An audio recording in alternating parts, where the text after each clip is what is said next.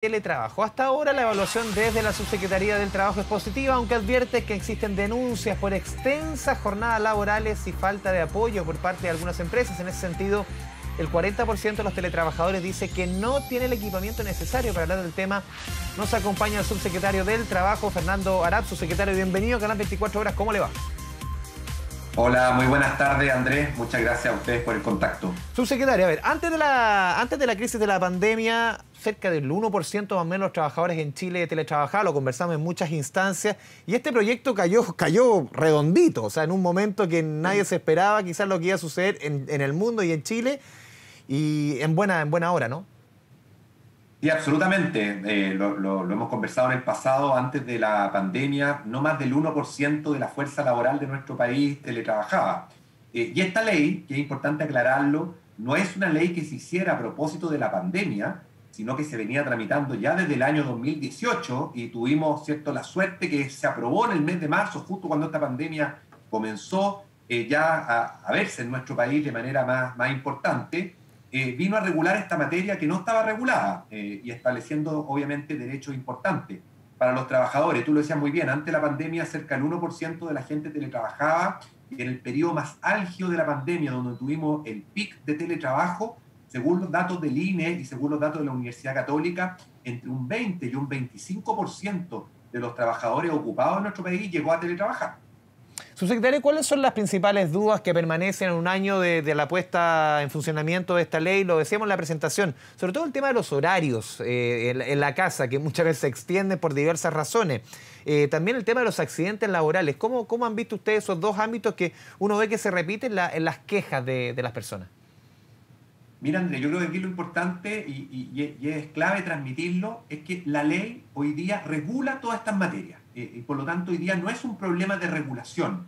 Eh, la ley regula el tema de los horarios, la, ley regula el tema del derecho de desconexión, la ley regula el tema de que los costos del teletrabajo son de cargo del empleador, la ley regula el tema de que un accidente del trabajo que ocurre en el hogar queda cubierto por la mutualidad respectiva, pero lo que tenemos que eh, acentuar y en lo que tenemos que dedicarnos a difundir mucho más es a crear esta cultura del teletrabajo, porque efectivamente tú lo dices muy bien, hoy día la Dirección del Trabajo recibió en un año de vigencia de la ley alrededor de 300 denuncias, lo cual es un número, es un número bajo.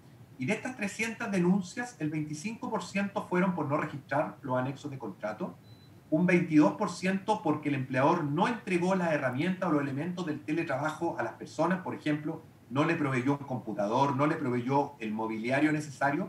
Un 14,5% de las denuncias fueron por no pagar los costos del teletrabajo o por ejemplo el costo de Internet, que lo hemos dicho reiterada y repetitivamente, que es un costo que tiene que asumir un empleador, y solo un 6% de las denuncias fueron por temas de no informar los riesgos en materia de seguridad y salud. Por lo tanto, en lo que tenemos que avanzar es una cultura del teletrabajo, en que las personas se atrevan a denunciar cuando lo que dice la ley de manera expresa no se cumple y que los trabajadores también sepan que tienen hoy día una protección es lo que se conoce como la garantía de indemnidad, que quiere decir que si un trabajador hace una denuncia y el empleador posteriormente despide al trabajador producto de esa denuncia, la ley presume que ese despido fue como represalia por la denuncia efectuada y por lo tanto mm. ese empleador se arriesga a penas bastante importantes.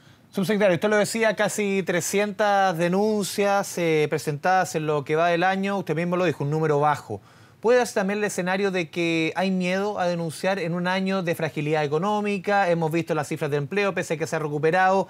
Puede haber miedo de parte de los chilenos, eh, de las chilenas, a hacer denuncia cuando, cuando obviamente las dificultades económicas las sufren tantos chilenos.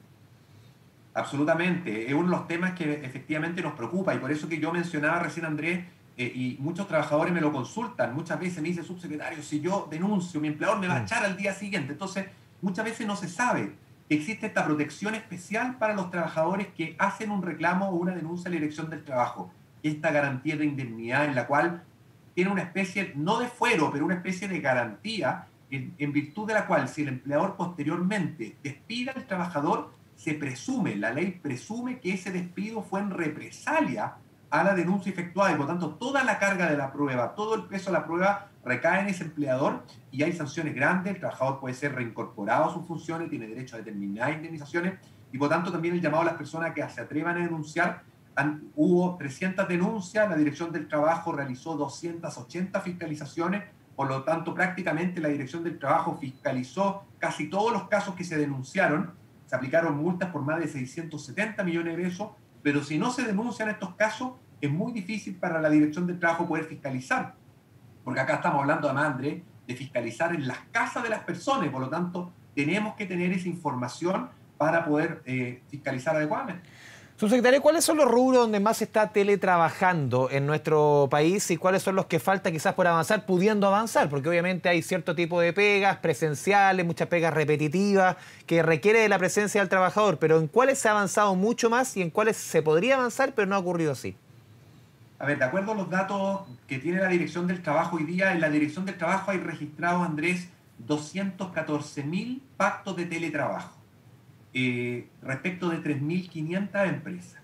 Si uno ve los rubros, los rubros mayoritarios donde eh, están registrados los pactos, el rubro de la enseñanza, ¿cierto? Y esto lo, hemos vivido todos en carne propia, mm. eh, el rubro de las actividades financieras, las actividades comerciales y todo lo que dice relación con empresas también de servicios, donde todas las labores más bien administrativas se están haciendo por teletrabajo. falta avanzar todavía, sin duda, en materia de teletrabajo. Eh, pero esto fue como, lo conversábamos el otro día, el antipiloto, porque cuando uno empieza un programa piloto, uno empieza de menos a más, ¿cierto? Uno empieza probando. Aquí partió con tutti al tiro. Al tiro, aquí tuvimos que transitar en el mes de marzo de un día para otro. Eh, desde la empresa todos se fueron para la casa y por lo tanto, eh, efectivamente tuvimos una población muy grande teletrabajando. Hoy día esa población es menor, lo que va a predominar en el futuro, ¿cierto? Cuando esta pandemia ojalá nos empiece a dejar es una gran cantidad de personas que va a combinar trabajo presencial con teletrabajo. Eso es muy importante. La ley permite combinar mm. trabajo presencial con teletrabajo. Por ejemplo, trabajar presencialmente en la empresa en las mañanas y teletrabajar en las casas en la tarde, o trabajar presencialmente lunes, martes y miércoles y teletrabajar jueves y viernes. Hoy día, en tiempos de pandemia, eh, un 60% de los pactos de teletrabajo es solo teletrabajo y un 30% es este mix.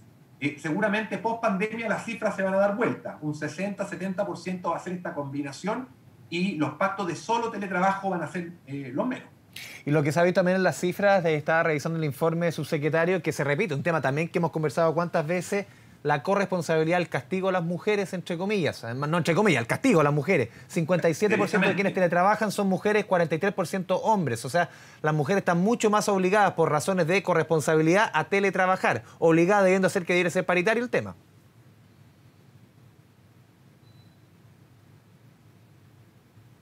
Parece que se nos fue el contacto con el subsecretario. Estamos conversando con el subsecretario Fernando Arab acerca de las cifras eh, de teletrabajo, su secretario, yo le preguntaba por el tema de, género. 57% son mujeres, 43% son hombres, debiendo ser 50-50, pero como siempre se castiga más a las mujeres. Bueno, lo hemos conversado varias veces este tema, Andrés. Efectivamente, hoy día en nuestro país, cuando hablo del cambio cultural que hay que hacer, es esto también. Hoy día, eh, en materia de teletrabajo, las mujeres han sufrido mucho más para poder teletrabajar que los hombres, porque las labores domésticas, las labores de cuidado, mm. hoy día son de cargo de las mujeres. Hay una encuesta que se hizo el año pasado que es muy decisoria en esta materia.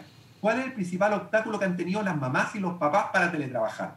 De manera mayoritaria, las madres señalaron que su principal obstáculo han sido las labores domésticas y las labores de cuidado, no solo de hijos pequeños, de cuidado de personas enfermas, de cuidado de adultos mayores. Y cuando esta misma pregunta se le hizo a los papás, la respuesta mayoritaria es que el principal obstáculo que han tenido para el teletrabajo es la conexión a Internet. Eh, y eso muestra una ausencia completa de corresponsabilidad, el divorcio que hablábamos recién. Y por tanto ahí tenemos un tremendo desafío, el cómo avanzamos en el teletrabajo, pero también cómo avanzamos en corresponsabilidad, porque de lo contrario, eh, obviamente, eh, las ventajas que tiene el teletrabajo, la experiencia positiva que queremos que tenga el teletrabajo, se hace mucho más difícil para un grupo de la población que eh, tiene que compatibilizar adecuadamente el trabajo del hogar con el teletrabajo. Subsecretario, lo conversamos al principio de esta entrevista, un 1% antes de la entrada en vigencia de esta ley se llegó a un 25% en el momento quizás más duro económicamente de la pandemia, porque sanitariamente hoy día estamos en el momento más duro. ¿Cuánto debiese estacionarse quizás el teletrabajo de aquí en adelante cuando ojalá lo antes posible la situación se normalice? Y también eso añadido, ha cambiado la cultura un poco de marcar tarjeta del chileno, un poco de hay que estar presente, hay que estar en la pega, que me vean trabajando, que me vean sentado, siendo que puedo hacer lo mismo pero en la casa.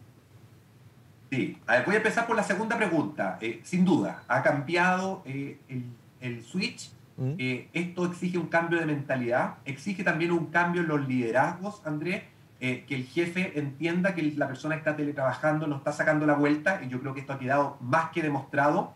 Todas las encuestas que se han hecho en materia de teletrabajo señalan que los, trabajadores están siendo igual o más productivos que lo que lo eran cuando trabajaban presencialmente. Por tanto, todos estos mitos de que el teletrabajo bajaba la productividad eh, han quedado completamente desvirtuados. Por tanto, el cambio de switch, de trabajar por metas, de trabajar por objetivos, creo que también es un tema que llegó para quedarse y en buena hora, porque no tenía ningún sentido esto de, trabajar por un horario, ¿cierto? Eh, si es que eh, el, trabajo ya se había realizado. y respecto de la, de la primera pregunta, ¿cuándo esto se va a estabilizar? Difícil saberlo eh, el tema laboral va muy de la mano hoy día del tema sanitario. Mientras no tengamos recuperación sanitaria, el tema de la reactivación laboral y económica va a seguir en este vaivén que hemos tenido. Y claramente el teletrabajo con cifras más definitivas lo vamos a ver cuando ya volvamos a cierta normalidad, ¿cierto? En términos laborales, porque ahí vamos a saber qué trabajadores se quedan en teletrabajo, quiénes van a mezclar este mix de trabajo presencial con teletrabajo y quienes derechamente van a volver solo a, a presencialidad.